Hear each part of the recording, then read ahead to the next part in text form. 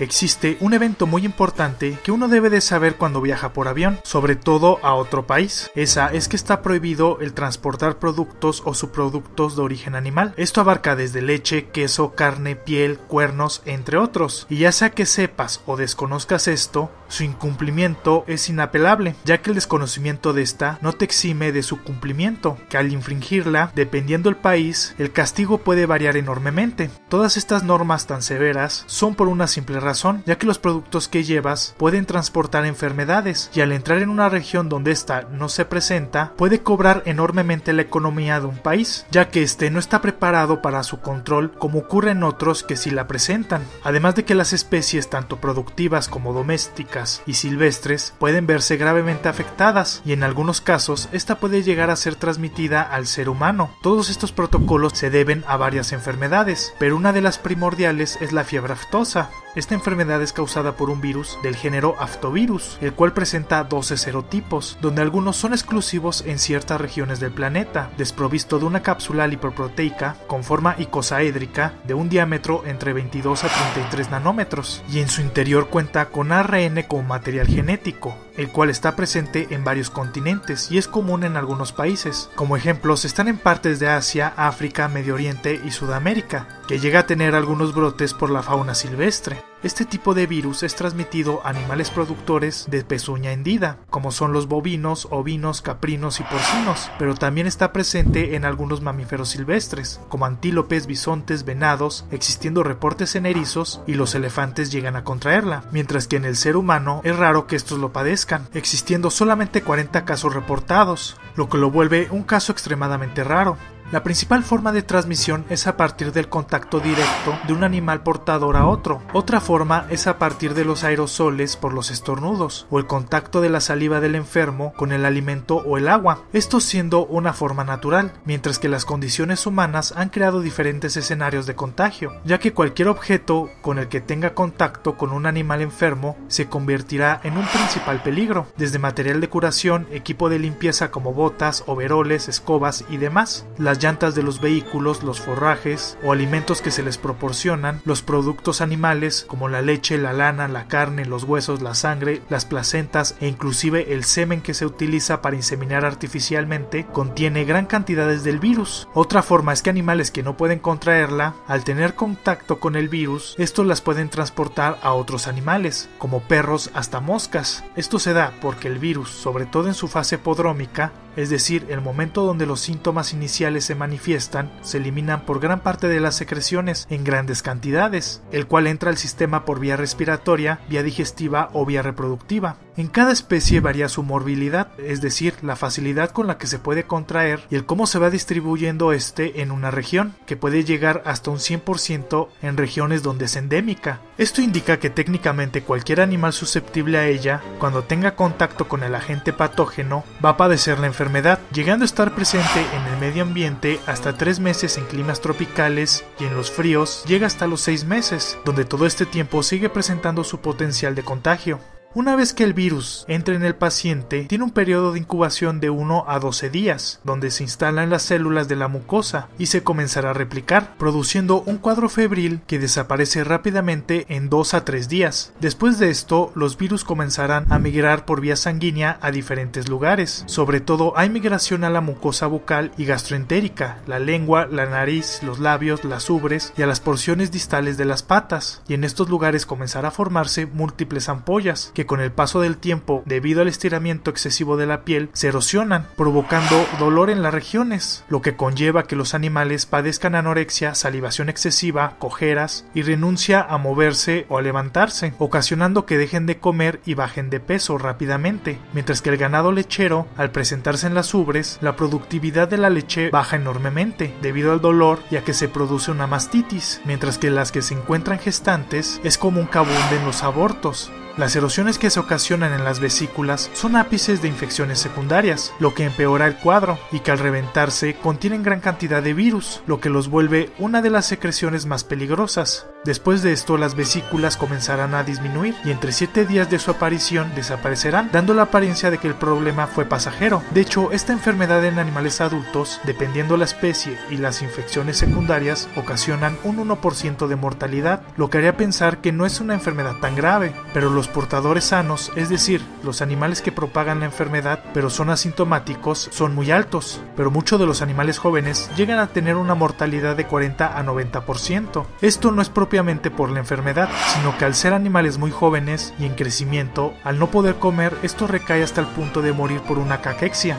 Si uno se detiene a pensar en este punto, tal vez es una enfermedad grave, pero no lo suficiente para alarmarse. Pero el giro está en que los animales de producción rara vez recuperan el peso para siquiera el granjero pueda recuperar su inversión. Sumado a esto, que al producir abortos, lastimar las glándulas mamarias hasta el punto de que una porción o en su totalidad deje de producir leche, hay que sumarle que constantemente los animales van a tener abortos y los que nazcan sus probabilidades son muy bajas de sobrevivir, y lo que uno llega a invertir solamente será una pérdida de dinero y que se llega a transportar con facilidad a otras granjas, inclusive otros estados o países, llegando al punto que un brote de esta enfermedad llega a dar un golpe muy fuerte a la economía de un país que la presente. Como un ejemplo, cuando se volvió a presentar un brote en Inglaterra en el 2001, el costo de esta enfermedad fue de 13 mil millones de dólares, lo que produjo una crisis económica importante en el país. De hecho, un golpe así ocasionaría que un país en vías de desarrollo quedara atrasado varias décadas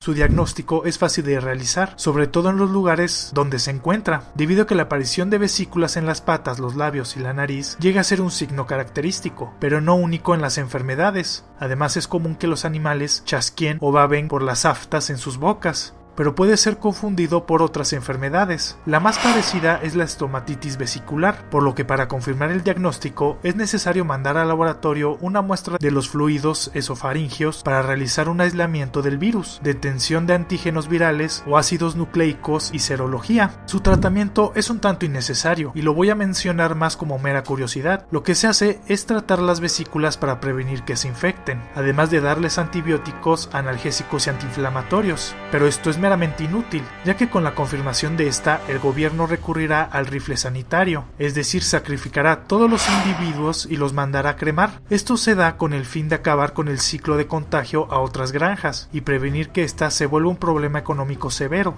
Se dice muy fácil, pero decirle a una persona que van a matar a todos sus animales y no va a recibir dinero o la compensación económica que el gobierno que le va a proveer es apenas lo suficiente para alcanzar los gastos de lo invertido, es una situación que ha ocasionado que mueran personas por este evento. De hecho, en México, cuando se presentó en 1947, se sacrificaron más de un millón de cabezas de ganado. Esta enfermedad se cobró la vida de muchos veterinarios por personas que se enteraron de este escenario por lo que las medidas para su prevención son la mejor forma. La primera es prevenir que los alimentos o subproductos de origen animal provenientes de países que la presentan entren a los que son libres de ella, al igual que el ganado, animales exóticos o semen proveniente de estos, en cualquier medio de transporte, y en dado caso que se llegase a presentar un brote de ellos, el médico veterinario está obligado a reportarla a las autoridades. De no hacerlo, este no solo perderá su título, sino que será encarcelado. Obviamente las sanciones dependen de cada país en cuestión. Ya para los países que las presentan es llevar muy buenos protocolos de bioseguridad,